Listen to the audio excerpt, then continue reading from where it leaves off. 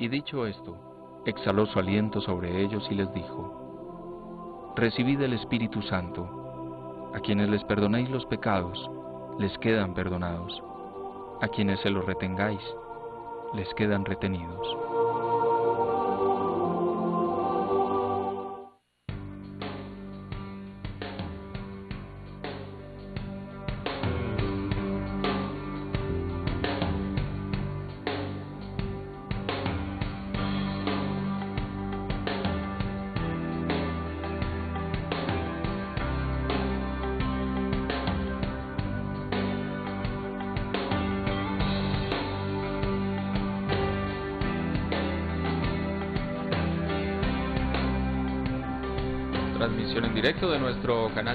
Para todos ustedes, amables televidentes, desde la Plaza La Macarena, donde se vive la preparación de Pentecostés, ese envío que nos ha hecho el Señor para que celebremos también en comunidad la, la fiesta ya propiamente de Pentecostés con nuestras iglesias particulares, ahí donde nos encontramos, en nuestras capillas, en nuestros oratorios, con nuestras comunidades de base de la Arquidiócesis de Medellín. Se ha terminado la charla catequética de Monseñor Mauricio Vélez con muy buena recepción de parte de los asistentes aquí a la plaza y también de nuestros televidentes del canal Televid que siguen esta señal en todo el mundo a través de nuestras redes sociales. Saludamos a quienes nos siguen a través del canal de YouTube. Y bueno, vamos a continuar esta celebración con muchas actividades importantes. Vamos a tener el acto del perdón en unos minutos, preparado por la pastoral juvenil. Ya tuvimos la adoración al Santísimo, unas eh, muy bellas palabras de oración que nos regalaba el padre Héctor Castrillón, de mucha adoración, de mucha unción también sentíamos en esta tarde. Ahora tengo el gusto de saludar a, a Monseñor Mauricio Vélez, quien se ha encargado de hacernos esta charla muy catequética mm, de acción de gracias, recorriendo lo que ha sido la historia de esta arquidiócesis de Medellín en estos 150 años, pero también descubriendo todos esos hitos que hemos conseguido a lo largo de este tiempo. Por ejemplo, la visita de los santos eh, pontífices que han visitado nuestra ciudad, desde Pablo VI, Juan Pablo II, recientemente el año pasado tuvimos el, gozo de tener entre nosotros al Papa Francisco. Esas son cosas muy importantes que el Espíritu va moviendo también y que hacen posible que nuestra iglesia siga viva con mucha fortaleza. También eh, hacemos el recuerdo de los 50 años de la segunda conferencia latinoamericana en Medellín. Recordemos que en el año 68 se realizó esta conferencia que trataba de recoger todos los documentos que nos presentaba el Concilio Vaticano II y Medellín fue la sede de esa conferencia, por eso estamos celebrando también esos 50 años donde aparecen tres palabras muy importantes, ver, juzgar y actuar. Casi que ese es como el modelo que le entrega Medellín al mundo en el tema pastoral, pero además era un encuentro muy importante para descubrir la, la importancia de la persona humana, todo el proceso de maduración de la fe, y el envío que tenemos todos de anunciar esta buena noticia, como nos decía Monseñor Mauricio Vélez. Pues aquí lo tengo con, nosotros, aquí está a nuestro lado Monseñor Mauricio, ya más reposado, descansando después de la fuerza que nos ha entregado. Muchas gracias por sus palabras esta tarde que empezaba usted diciendo en el nombre del Padre Creador, del Hijo que nos modela y del Espíritu Santo que es el amor entre nosotros. Así comenzó usted esta charla para, para todos. Eh, Alejandro, lo primero, me alegra muchísimo el que nosotros como iglesia tengamos esta posibilidad de avivar nuestra fe. La arquidiócesis de Medellín es una arquidiócesis muy bendecida por Dios. A lo largo de estos 150 años son muchas las personas que le han apostado al Evangelio. Y lo más interesante, el desarrollo de nuestra ciudad, el desarrollo de nuestros pueblos, ha caminado siempre de la mano de la iglesia. Y ahí es donde debemos como valorar en este ejercicio de fe, en este ejercicio de espiritualidad. Hombre, la iglesia le ha dado lo mejor a este país, la iglesia le ha dado lo mejor al mundo, pero en concreto a nuestra arquidiócesis de Medellín. Y por eso hoy la catequesis era una acción de gracias. Ahora bien, en esta acción de gracias, si nos damos cuenta la riqueza del magisterio latinoamericano, nos ha dado una lectura de quiénes somos, dónde estamos y para dónde vamos.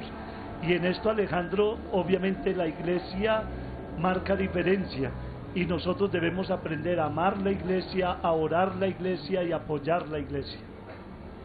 Muy bien, me dicen que ya está llegando también aquí al set de grabación el padre Nevardo Cataño.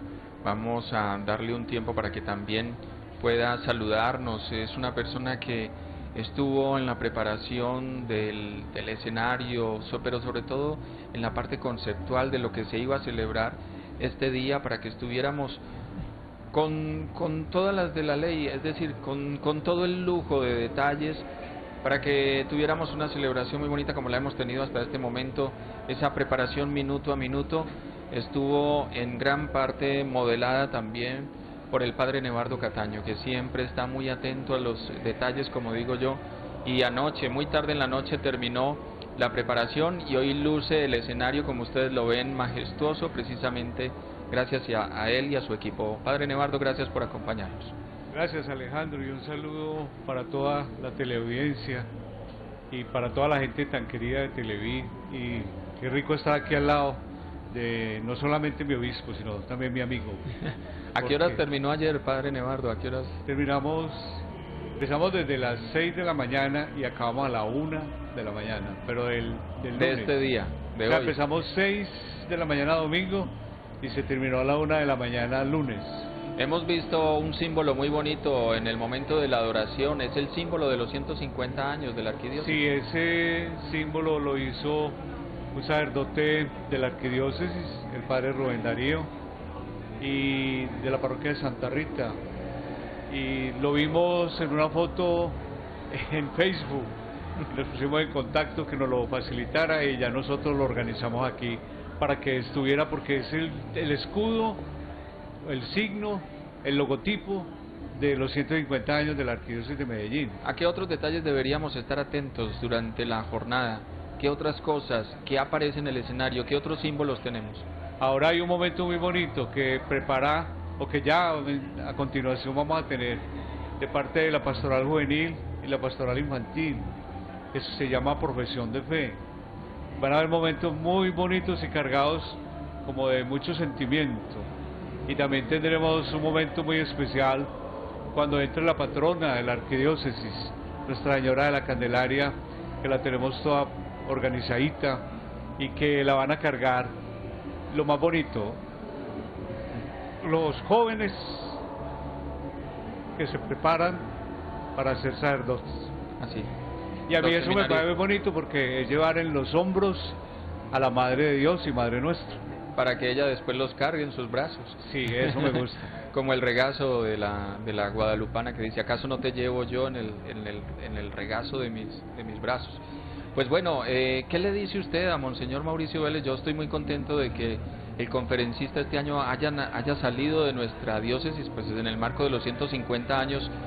¿Cómo no tener un fruto y un, un, fruto sacerdotal como el de Monseñor Mauricio? Es decir, un hijo nacido de nuestra arquidiócesis y que ha llegado al obispado pues con esa sencillez, con esa cercanía de Monseñor. Sus palabras fueron realmente muy significativas. Este día nos ha hablado de todos los hitos de nuestra iglesia, pero también de la unidad, de la santidad y la participación de cada uno de nosotros en esta iglesia. Él empezó con un momento muy bonito de acción de gracias, empezando por la creación, con esa flor. Yo cuando me pidió la flor dije que Aquí la tiene, monseñor. y la verdad que me parece muy bonito que empezó dándole gracias a Dios por todos los momentos de la vida. Y él ha sido un gran catequista, nos conocemos hace mucho rato, él fue mi reemplazo en, la capellanía de la alcaldía de Medellín. Espero yo no llegar a ser el reemplazo suyo. Muy bien. porque además yo pienso que hay que orar mucho por nuestros obispos. Es un ministerio muy, muy uh, y más en el momento histórico que vive el país. Tenemos que orar mucho por ellos. Mucho. Monseñor, usted decía, no, no, no concibo una iglesia que camine paralela a la misma iglesia. Es decir, una persona que se siente parte de ella, que ha sido bautizada en ella, que camina en los grupos apostólicos, no puede generar una iglesia paralela. En eso usted nos hacía una claridad muy importante de mantenernos en la unidad. Hay un punto importante, Alejandro. Hombre, yo sé que en sus momentos las parroquias no respondieron a las necesidades de la gente. Y de pronto cuando en una parroquia no estaba el carisma, la fuerza del Evangelio, nuestros laicos fueron irrumpiendo en iniciativas y fueron creando una serie de grupos o una serie de movimientos, pero hombre, para mí lo mejor de los 150 años de la arquidiócesis es que nos pongamos todos la mano en el corazón. La sociedad ahí afuera está dividida. La iglesia no puede entrar en el juego de la cultura posmoderna donde cada uno va por su lado. Nosotros somos conscientes de que en la iglesia todos, todos podemos aunar esfuerzos para esta obra evangelizadora. Pero se lo he dicho a los grupos en los distintos eh, centros, en las distintas vicarías y arciprestazgos. Nada sin la parroquia, todo con la parroquia, siempre con la parroquia. Hombre, ¿por qué no conectarnos a esa realidad de la parroquia que está puesta en esa bella pedagogía de la obra del Espíritu Santo para evangelizar. Y, me, ratifico en la palabra, no concibo una iglesia donde cada uno esté cogiendo por su lado. Ahí la división no nos favorece. Usted decía que no divida, que no genere guetos, no son cubículos con divisiones. La iglesia es sobre todo unidad. Y ahí es donde tenemos que apostarle a esto y ahí nos tenemos que concientizar que ricos los carismas en la iglesia, pero en la unidad del Espíritu. Ricos los carismas en la iglesia, pero en una misma fe. Ricos la unidad, los carismas en la iglesia, pero como iglesia. Entonces, en ese orden tenemos que favorecer hoy y siempre el que a Dios gracias tenemos gente inquieta por el Evangelio, pero la inquietud por el Evangelio no nos puede llevar a falsas eh, interpretaciones o a falsas corrientes o lo que es más triste, a engañar al pueblo de Dios, porque el Evangelio no puede ser un negocio, el Evangelio no puede ser el sustento de una persona de turno. El Evangelio tiene una gran responsabilidad y es favorecer la salvación del hombre. Entonces todos nosotros, sin excepción, tenemos una prioridad y es llevar al hombre a la presencia de Dios, a su salvación, a ese reino de los cielos y ahí tenemos que estar muy unidos. Una de las cosas importantes que le ha pasado a nuestra iglesia, lo comentábamos con nuestros amables televidentes, es el, el encuentro latinoamericano que ocurrió en el año 68, se cumplen 50 años era una lectura del Concilio Vaticano II, digamos, con el modo latinoamericano de verlo, ¿no? Y yo creo que la iglesia latinoamericana lo ha hecho bien, con mucha fuerza, se ve. Yo creo que por eso tenemos también un Papa latinoamericano, precisamente porque hay una fuerza del Espíritu actuando eh, en todos nuestros países. ¿Para qué pedimos, Padre Nevardo, el Espíritu Santo? O sea, ¿realmente a qué nos tiene que llevar? Le pedimos sabiduría, inteligencia, consejo, ciencia, temor de Dios, le pedimos todos esos dones. Pero ¿para qué esa sabiduría? ¿Para qué esa inteligencia? ¿Para qué esa capacidad de consolar? ¿Qué es lo que necesitamos realmente del Espíritu? ¿A dónde nos tiene que mover realmente como iglesia? Para que no se quede solamente tampoco en las esferas de celebración. O sea, realmente donde se ve el movimiento del Espíritu en comunidades como las nuestras, en comunidades latinoamericanas cuando San Juan Pablo II llamó a América Latina el continente de la esperanza. Y cuando le dijo a los jóvenes que ellos eran la fuerza renovadora del continente. Yo creo que esos jóvenes de esa época hoy ya son los que están en el episcopado, los que están en algunos asuntos que dirigen empresas, y es a ellos, o a nosotros, quienes nos toca con la fuerza y el poder de Dios transformarlo todo. A mí me parece que el Espíritu Santo ha soplado para el mundo con un Papa latinoamericano. Yo lo he dicho de mil maneras, que es el primer signo, un Papa argentino y humilde. Dios está hablando y de qué manera. y que nos dice en un lenguaje sencillo y que ahora Monseñor Mauricio en su catequesis también lo citaba, callejear el Evangelio. No balconear la vida. Eso, no, no estar en el balcón como un simple espectador. Y a mí en Semana Santa se me vino a la memoria algo que me pareció muy bonito, llevar en los hombros. Mire, la gente en Semana Santa toda cargaba imágenes. Si nosotros lleváramos en los hombros el Evangelio y, calle, y lo callejeamos, es, y con la fuerza y el poder de Dios, no con la fuerza del mundo, no con el poder de los medios y sobre todo de algunas redes sociales. Yo soy un convencido de que Jesús sabía que iban a existir redes sociales y por eso le dijo a sus discípulos, echar las redes. Eso es lo que nosotros hoy tenemos que escuchar y coger esas redes sociales con fuerza y con el poder de Dios para callejear el Evangelio por toda América Latina. Está empezando ya el acto de perdón con los jóvenes, vamos a, vamos a ir con estas imágenes, pero Monseñor, un mensaje final para los televidentes. Miren, el Papa nos decía que no podemos secarnos por dentro. Y aquí en el Coliseo, en el centro de eventos La Macarena, nos dijo que hay cuatro cosas que secan al ser humano por dentro. La mentira, el ocultamiento, la manipulación y los abusos. Y si miramos, eso es todo un efecto dominó. El que miente oculta, el que oculta manipula y el que manipula abusa. Aquí tenemos que tener identidad. Y por eso nos decía, hombre, vamos a lo esencial, renovémonos e involucrémonos, pero siempre sin dejarnos robar ni la alegría ni la esperanza, y mucho menos el futuro. Muchas gracias a los dos por acompañarnos. Gracias por el esfuerzo que hacen por esta iglesia también. Como decíamos al comienzo, todos tenemos una participación de 5 años, de 20 años, en nuestros casos desde el bautismo, toda la vida entregada a la iglesia.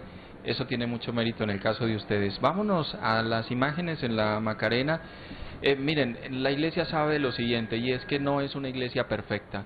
Y en muchos casos es necesario pedir perdón. Por eso los jóvenes tienen preparado esto para nosotros decir que me siento orgulloso de ser católico y me siento más feliz de ver este recinto lleno de alegría, lleno de Espíritu Santo y yo creo que aquí huele a resucitado. El que usted tiene al lado tiene olor a resucitado. Huélalo, huélalo. Vamos ahora a vivir un acontecimiento muy especial como acto de fe como profesión de fe, pero también como acto penitencial. Y antes de eso, si ustedes me lo permiten, yo quiero ver cómo está la alegría de todos los católicos de la arquidiócesis de Medellín.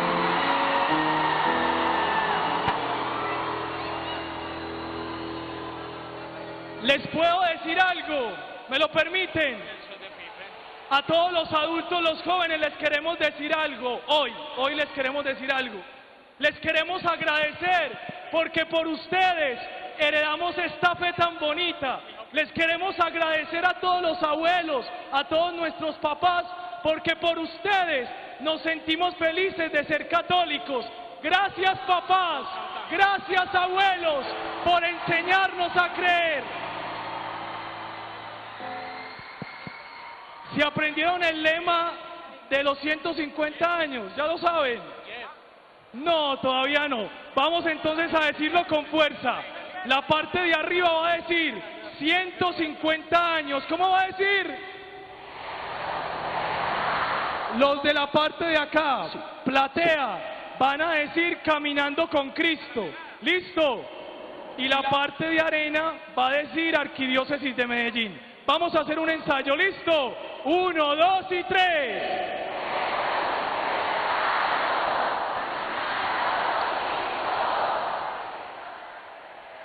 No, falta más fuerza. Los católicos tenemos fuerza. Y lo vamos a decir con fuerza porque nos sentimos felices de tener la unción del Espíritu. ¿Listo? Uno, dos y tres.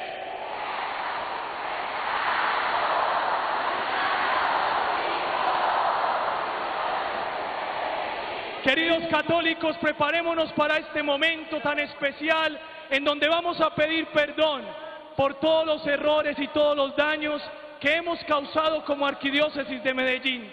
pero también vamos a profesar nuestra fe. Felices, felices de que creemos en Jesús y que en estos 150 años hemos estado acogidos por Él, de la mano de Él y que nunca nos deja solos. Y a todos los que están en las pantallas, por medio de la radio, hoy les quiero decir que no tengan miedo, porque Dios está con nosotros y hoy nos ha hecho un regalo inmenso, que es su Espíritu Santo, que se renueva en su iglesia. Queridos católicos, gracias por estar aquí y gracias por demostrarnos que creer vale la pena.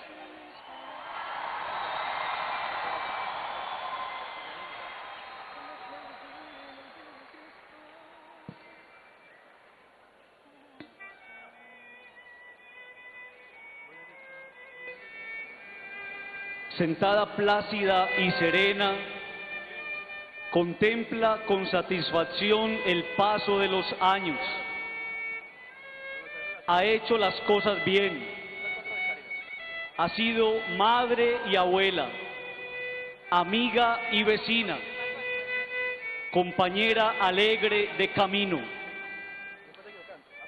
Se acuesta cada día con la frente muy en alto la satisfacción del deber cumplido la mantienen firme en su tarea. Sabe que con brazos maternales ha abrazado los hijos y con mirada tierna ha contemplado uno a uno sus pasos. Los ha visto caer y levantarse, correr y conquistar metas ella, desvelada, ha observado sus cansancios, pero orgullosa aplaude sus aciertos. Ella, como hilvanando sueños, ha ido entretejiendo la historia, la historia que pasa sin detenerse y que augura para todos un mañana mejor. Su rostro ajado evidencia las pruebas soportadas con tesón. Ha sido madre en medio de turbulencias y le ha tocado sortear con decisión situaciones adversas. Su cabello cano nos habla de la sabiduría propia de las abuelas y de la experiencia que se abraza cuando con responsabilidad y compromiso se abraza también la vida. Ella, con manchas y arrugas, es madre de todas las horas. Ha hablado sin desesperar, enseñado sin negociar la verdad y señalado el camino con exigencia para que todos podamos alcanzar nuestros sueños. Cuatro hijas han nacido de sus entrañas y de ella con gran fecundidad han germinado numerosos hijos. El gozo de contemplarla ya anciana, pero siempre lúcida, los ha hecho reunirse en torno a quien siempre los ha mantenido congregados. Toda madre merece su reconocimiento y esta mamá nos ha abrazado a todos con especial cuidado. Por eso y por mucho más, esta madre se merece lo mejor.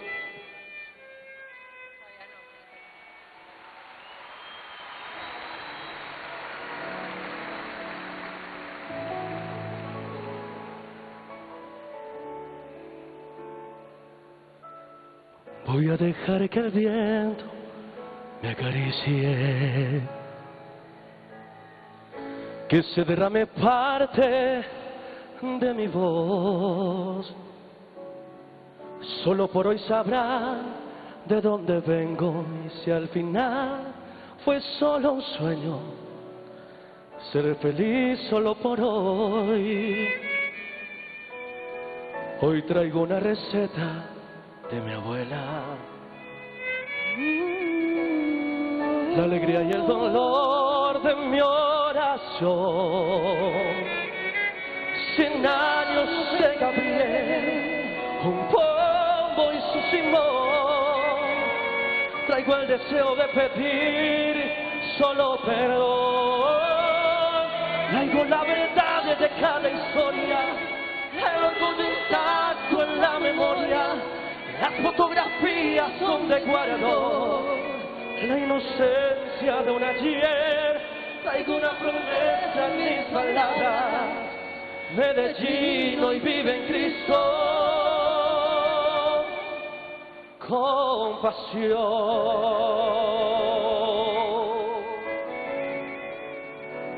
Voy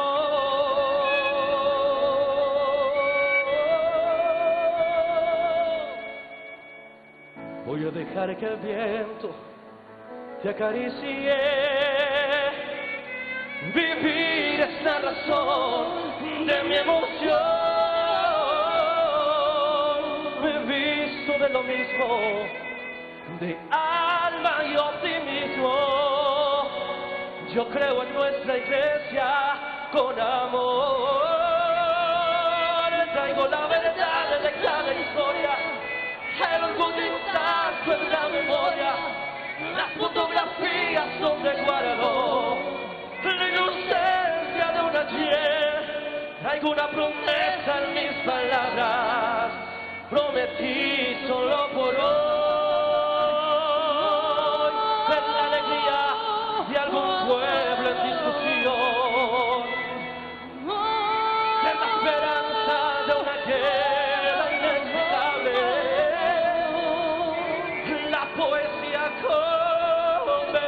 en oración, la medicina que te salve.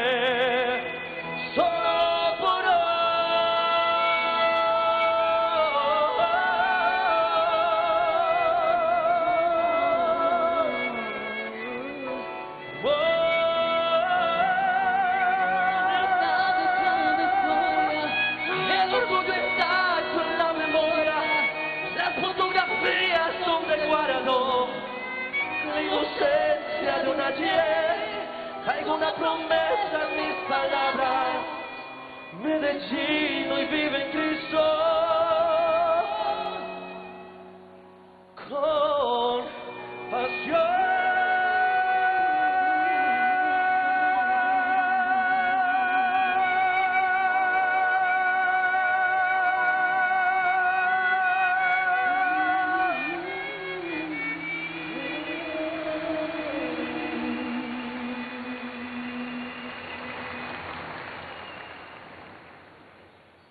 Ella ahora es la agasajada.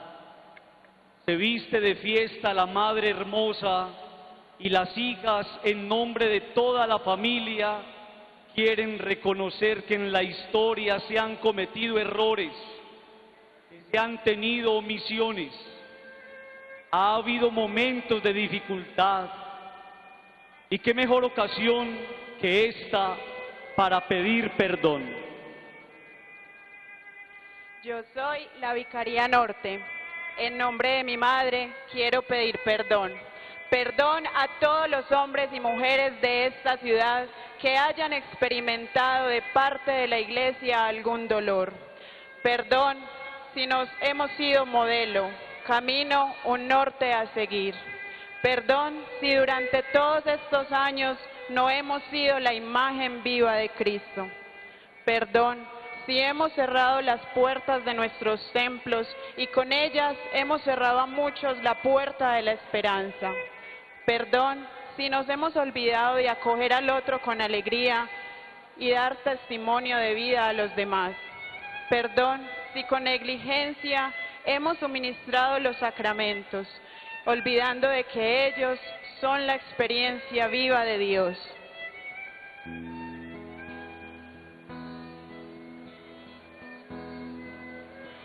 Perdón, Jesús, perdón.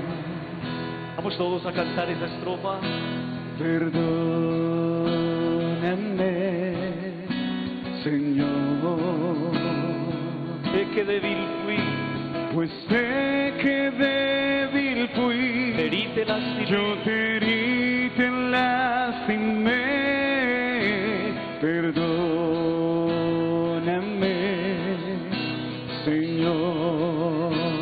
cantamos todos. Perdón, Jesús, perdón. Perdóname, Señor. Perdóname, Señor. Yo sé que débil fui.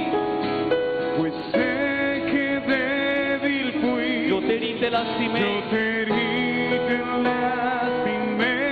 Perdóname, Señor.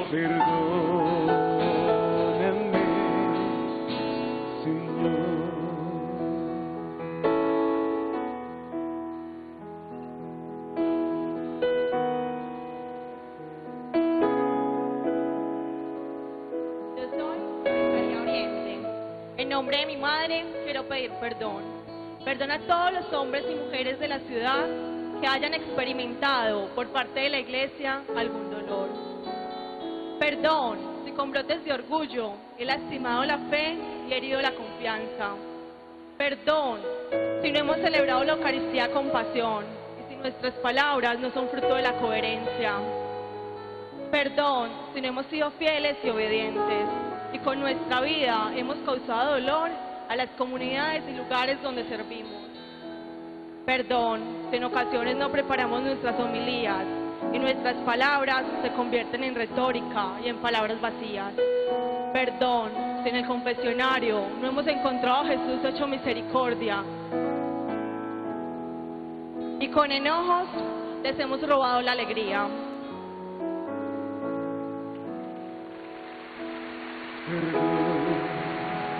Jesús, perdón, Digamos todos, perdóname, Señor. perdóname,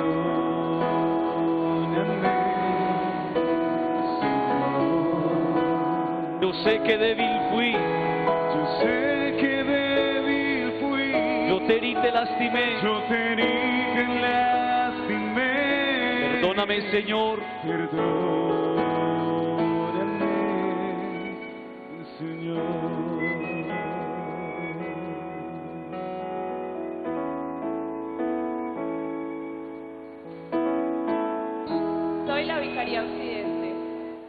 nombre de mi madre quiero pedir perdón.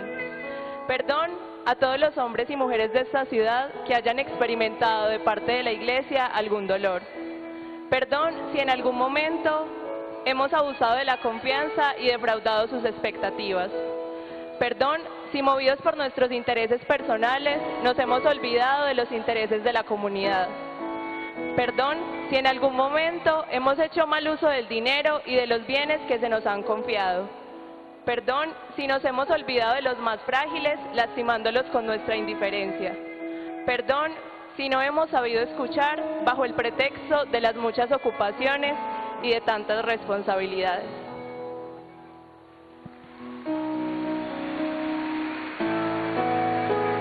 Perdón, Jesús, perdón, Perdóname, Señor.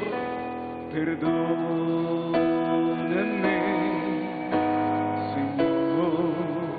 Yo sé que débil fui.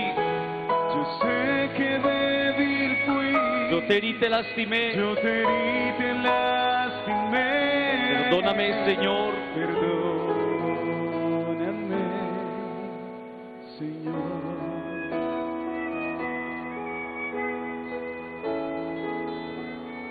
Soy la Vicaría Sur y en nombre de mi madre quiero pedir perdón. Perdón a todos los hombres y mujeres de esta ciudad que hayan experimentado por parte de la Iglesia algún dolor. Perdón si en algún momento hemos actuado movidos por la ira o la desesperación. Perdón si por nuestra causa algunos se han ido de la iglesia o han tomado una actitud de prevención frente a ella. Perdón si no hemos sabido cuidar con esmero la Eucaristía y por las veces que la hemos celebrado indignamente. Perdón por no ser promotores de la justicia y constructores de la paz. Perdón por el dolor que le hemos causado a niños, jóvenes y adultos y por las faltas que se hayan podido cometer contra ellos.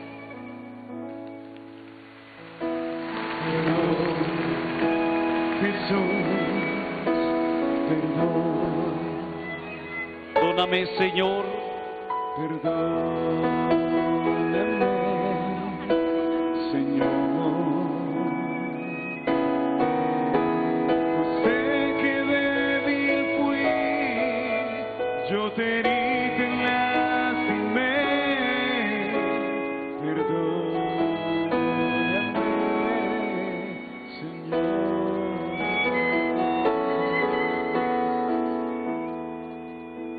Hoy es un día maravilloso para alegrarnos. Esta Madre hermosa nos ha abierto las puertas del bautismo, nos ha ofrecido la reconciliación de nuestros pecados, nos ha alimentado con generosidad, nos ha confirmado en la fe, nos ha regalado ministros que al estilo de Jesús nos animen el caminar, ha bendecido el amor de la familia y despedido en la esperanza a los que nos han tomado la delantera para abrazar la vida entera. Esta iglesia de Medellín ha caminado sin desfallecer, apoyada en sus hijos, se renueva cada día con la fuerza del Evangelio para mostrarnos que es caminando, siendo iglesia peregrina, como debemos descubrirnos y descubrir que nuestra meta es el cielo. Esta iglesia se renueva cuando aprende a ofrecer el perdón. De una iglesia renovada nacen las ganas de volver a comprometerse y querer seguir construyendo el camino. Creemos que el amor es la fuerza capaz de transformarlo todo porque somos hijos de una iglesia embajadora del amor que no se cansa de caminar, entonces decimos en qué creemos.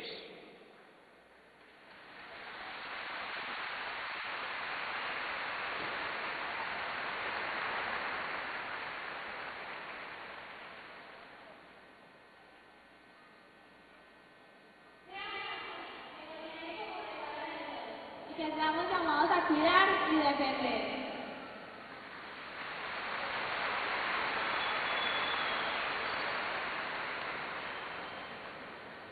Creo en el mañana y en el poder que tenemos de transformarlo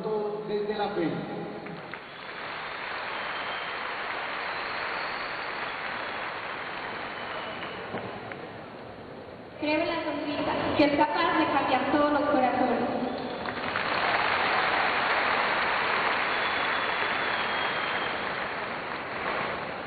Creo en el poder de la cuando somos capaces de utilizarla al servicio de los demás.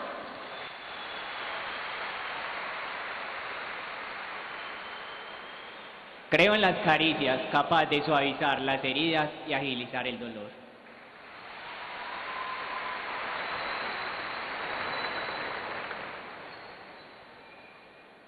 Creo en la bondad que abre caminos y genera oportunidades mejores.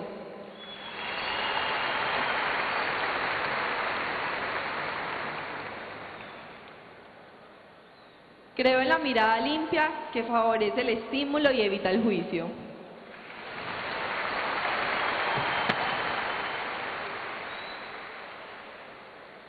Creo en la verdad que dignifica a la persona y le abre puertas de bendición.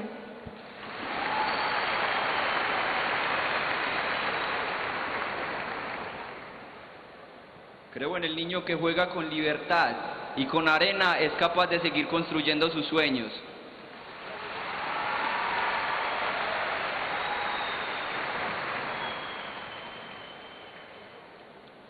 Creo en el joven que se esfuerza, trabaja y se esmera.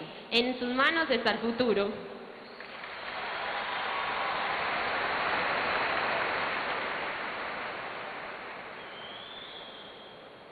Creo en el anciano que no se rinde, aquel que incansable se pone de pie para abrazar cada día las duras faenas.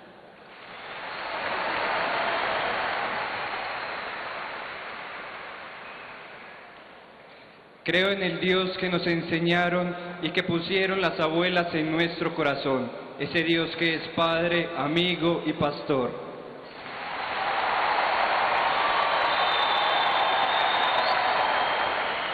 Creo en Jesús, en quien he puesto mi confianza y a quien he proclamado como el Señor de mi vida.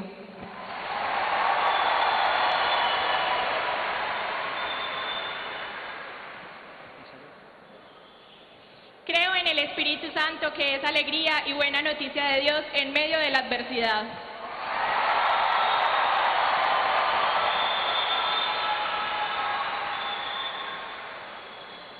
Creo en la iglesia que me abraza con ternura, me sostiene y me acompaña en mi caminar.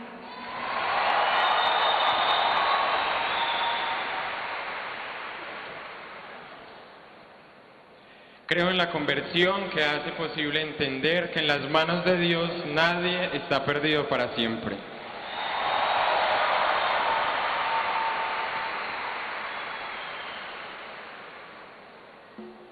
Creo en la solidaridad que nos lanza a ser extensivo el mensaje del Evangelio.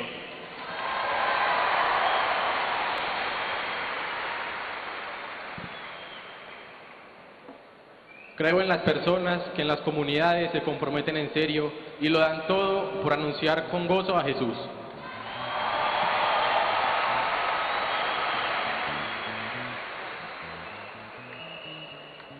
Creo en los discípulos que con su trabajo abnegado y generoso continúan sembrando la esperanza.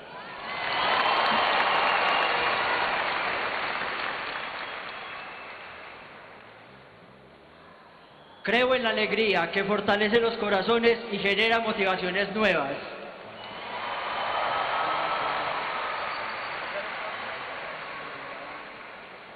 Creo en la amistad que me impulsa a descubrir en el otro motivos para ser felices en cada momento.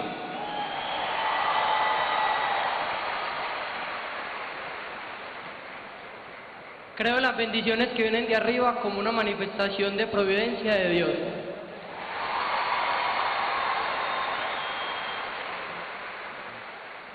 Creo en la misericordia que vence el egoísmo y nos lanza a la vivencia de la caridad.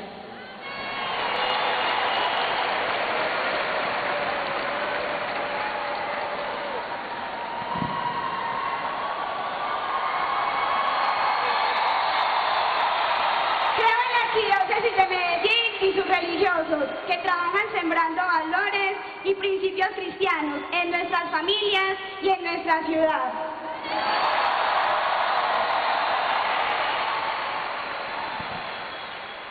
Ahora vamos a recibir a la mamá más hermosa del mundo, a la mamá que nos ha demostrado que creer como católicos vale la pena en estos 150 años.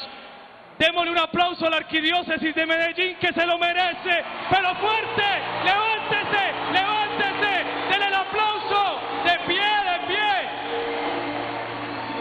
Les voy a pedir un favor, ¿quieren que le cantemos el cumpleaños a esta mamá hermosa? Vamos a cantárselo con fuerza, con alegría en estos 150 años en donde nos han demostrado que la iglesia no está muerta, está más viva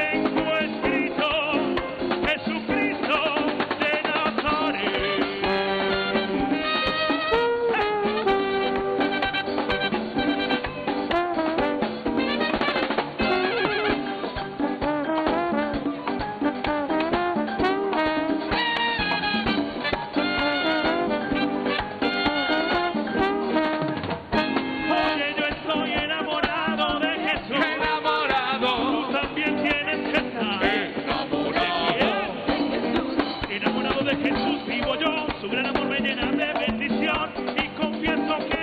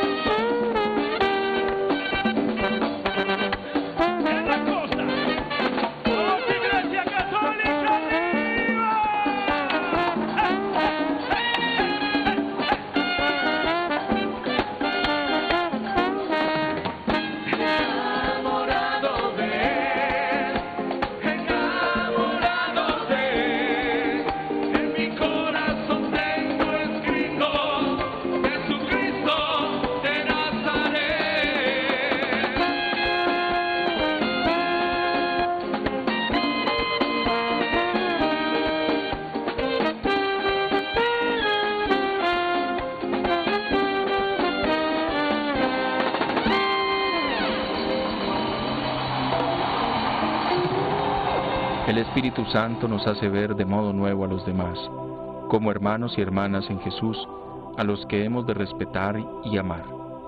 Su Santidad Francisco.